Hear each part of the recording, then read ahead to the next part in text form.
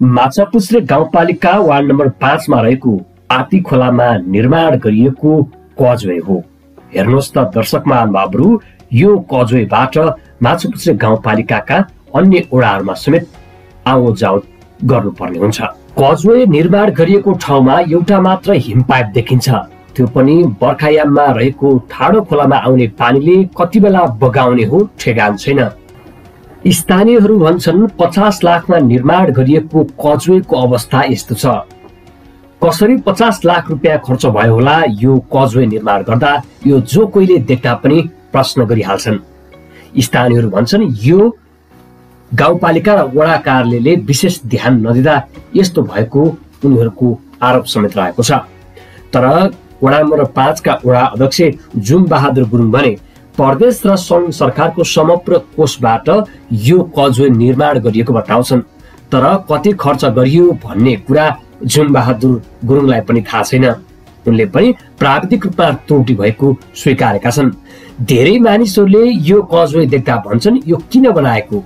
यो भविष्यमा जोखिमयुक्त मूल्य किन निर्माण गरियो? प्राविधिक पक्षले यसलाई किन नगर अन्दाज गरेको? प्राविधिक रूपमा यो त्रुटि हुँदा हुँदै पनि अहिले यहाँ सवारी साधनहरू कुडिरहेका छन्। तर बर्खायाममा आउने बाढीले यसलाई क्षतिग्रस्त बनाउँछ भन्नेमा सबैजना ढुक्क जस्तै छन्। स्थानीयले भने यो प्राविधिक कमजोरी हुँदा हुँदै पनि सरकारले बनाउन रोक्नु पर्ने उनीहरूको आवाज छ। गाउँपालिकामा बेला बखतमा लिखित र मौखिक रूपमा निवेदन लिएर जाँदा पनि गाउँपालिकाले कुनै सुनाइ नगरेको स्थानीयको आरोप रहेको छ। कसो भनेर अब बनाएको हो के अरे हजुर। तर खोइ त्यो कजय जस्तो नि देखिँदैन अनि अब हामीले चाहिँ संविधान निकायलाई चाहिँ बार बार चाहिँ यो त भएन अलिकति यो बस्तीले नै जोखिम हुने तरिका भयो भनेर चाहिँ हाम्रो बार बार सूचना भन्ने अथवा चाहिँ उनीहरूलाई गएर जानकारी पनि गरायो खै अब पचास लाखको योजना भन्ने सुनेको हो मैले चाहिँ। त्यो त त्यो चाहिँ अब मलाई त्यति जानकारी त भएन। तैपनि जति जतिको योजना भए पनि यो तपाईँको चाहिँ यसको यो डिजाइन तपाईँले देखिराख्नु भएको छ। अब यसले चाहिँ भनौँ न अब चाहिने मात्रा चाहिँ अब तिनवटा हिमपाइपको ठाउँमा जम्मा एउटा छ।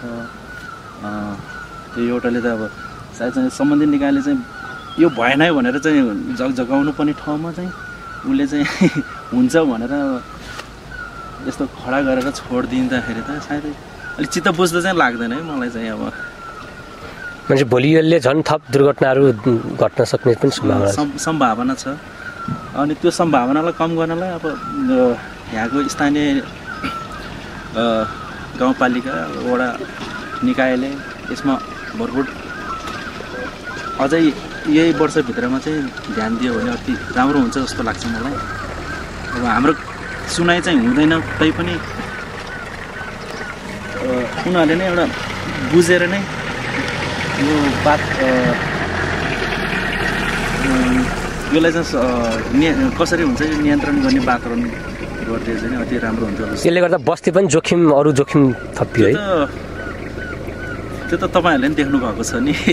त्यो हुन नि भइराख्ने कुरो नै त भइरहेको छ स्थानीय बलवीर गुरुङका अनुसार बस्तीलाई नै जोखिममा राखेर गाउँपालिकाले यस्तो के गरेको हो?